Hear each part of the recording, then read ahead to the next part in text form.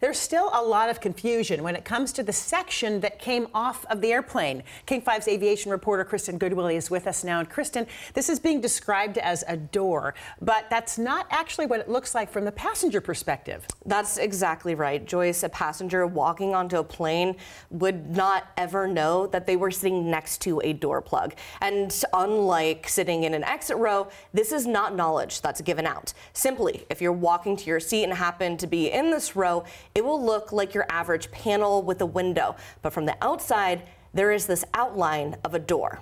Which most of us who fly don't even actually know. So that's right. incredible information. Is there actually a door there that can be used in an emergency? I think that's the biggest question here. And for Alaska Airlines purpose, no, there's not. So for say, if there is an emergency, no one will be able to open that door. It is completely plugged.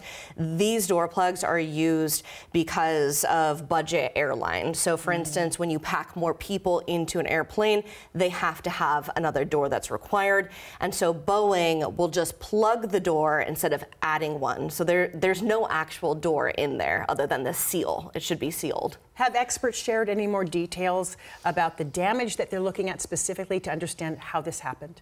Yes. So when you look at the pictures, it doesn't look like there's any structural damage. It looks like it's only the door plug that unsealed and then flew out. So experts tell me the main question the NTSB is trying to answer is whether the door failed because of a structural issue within the door or because it was not latched correctly. And has anything like this ever happened before?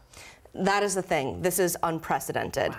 As I'm sure we all remember, there are times when we have people mid flight who are trying to open the emergency exit, but never a situation like this where this type of thing happens mid air with really no reason to it, and that's exactly what the NTSB is looking at. It's also important to note that they're moving really quickly mm -hmm. here. So mm -hmm. Alaska Airlines voluntarily, within hours, grounded their fleet.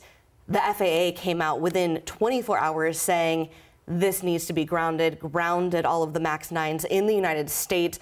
Boeing as well is working with the NTSB, and the NTSB has already given us two updates. So this is something they are working together and trying to get this figured out. And of course, the impact for passengers has been widespread, but right. again, it does point to the importance of them figuring this out ASAP. Exactly. Thanks.